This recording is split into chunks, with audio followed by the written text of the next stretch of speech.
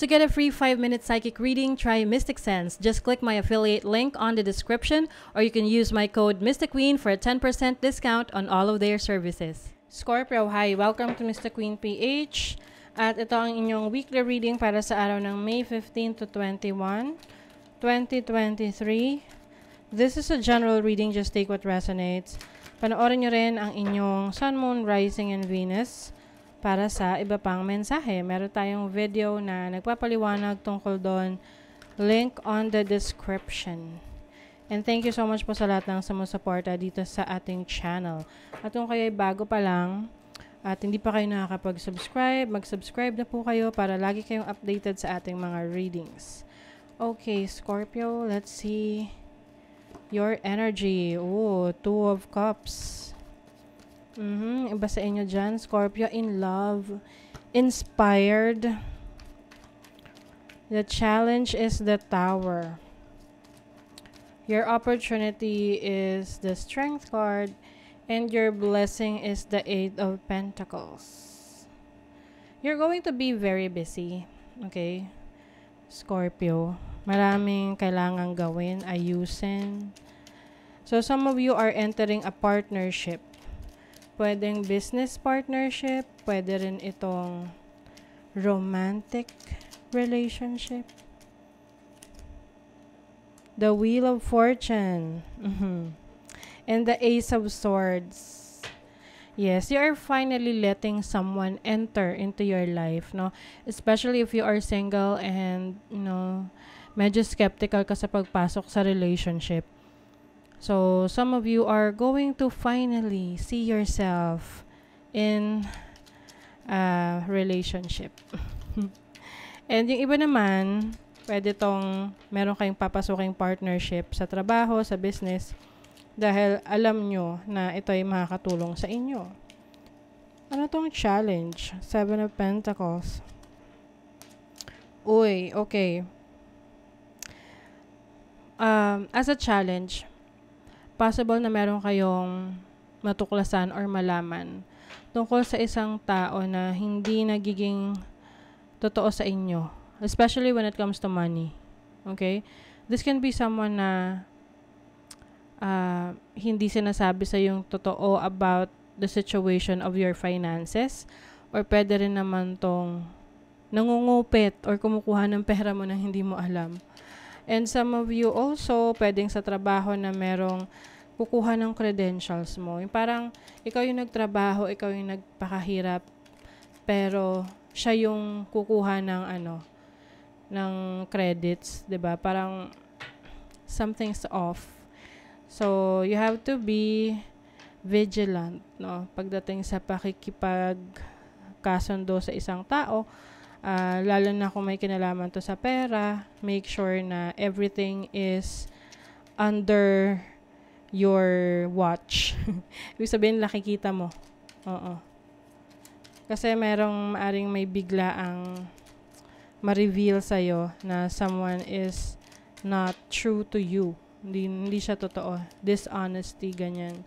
So, your opportunity is the Strength card and the Queen of Wands.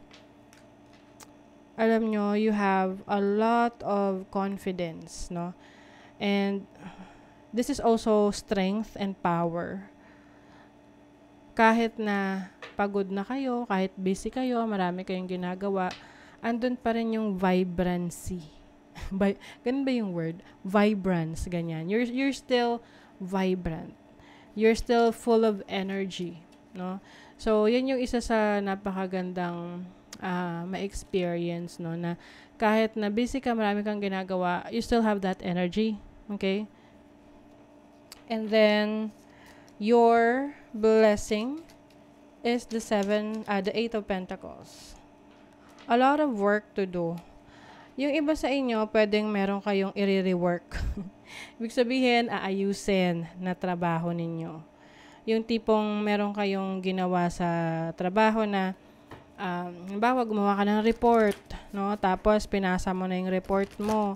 Pero sabi ng boss mo, kailangan mong ayusin. Kasi may kulang. Okay? But, the moment naman na ayusin mo yon makakakuha ka ng reward, no? Or ng uh, appreciation from your boss. Mm-mm. And then also, meron din ditong realization of your past mistakes pagdating sa pag-handle ng finances. So, your blessing is ngayon, alam mo na kung paano i-manage yung finances mo ng mas maayos. Mm. Virgo Digest, you are more organized. Okay? Alam mo na kung, parang ano, you are uh, focused sa mga detalye. 11th house community. So, I also feel na mas magiging, ano ka ngayon, exposed. When I say exposed, pwedeng yung mga gawa mo, no, yung mga cre- creation mo or kung ano man 'tong ginagawa mo sa career mo, sa business mo ay ma-acknowledge ng nakararami.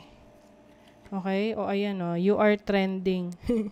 Microphone. So some of you are using your voice to uh, to influence other people or to be seen. Okay? You also have declaration, reclaiming power. O ayun na nga, you are reclaiming your power. Mm, meron din ditong unconditional love.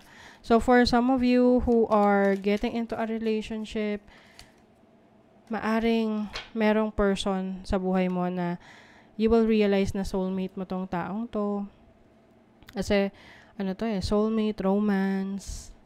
Oh, and some of you, maaring merong may magpapahayag ng feelings para sa inyo. Okay, if you are already connecting with someone ngayon and you feel na parang may something itong tao na to sa'yo, that's true. Meron talaga siyang feeling sa'yo within a few weeks. Okay? So, that's around May 15 to 21, pwedeng ganun. And also, meron kang iti-take na risk. Okay? And pwede tong mga bagong projects mo na parating meron kang risk-taking some sort of gambling for some of you.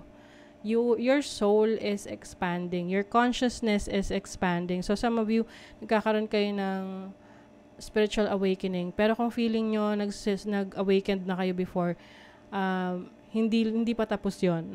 okay? Kasi ang spiritual awakening niyan naman is patuloy-tuloy, no? Nagpapatuloy 'yan. Divine order, do what you feel is right. An important lesson is unfolding. Mm.